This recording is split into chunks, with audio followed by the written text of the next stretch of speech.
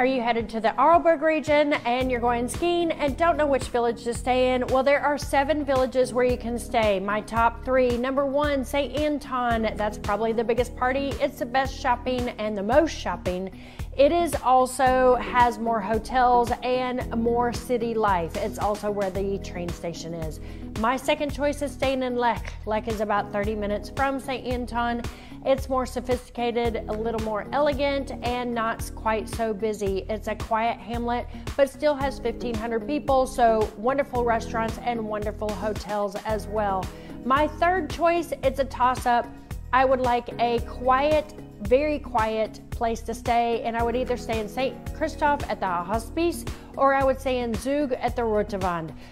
Tiny hamlets, not much to do, but if you're looking for five star service and great skiing, I would try those two as well.